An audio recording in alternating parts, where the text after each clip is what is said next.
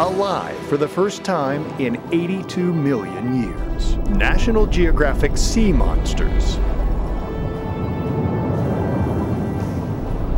Tusoteuthis, an ancestor of the modern squid that swam in what is now North America. These soft-bodied animals' fossils consist only of the gladius, or pen, the closest thing they had to bones. Xiphactinus, a huge fish that likely could swim more than 30 miles per hour. Its diet consisted mostly of other fish, but it may have eaten the meat of reptiles too.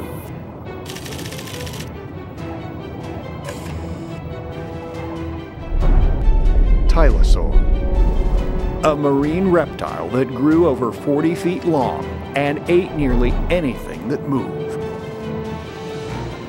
Its remains have been found worldwide.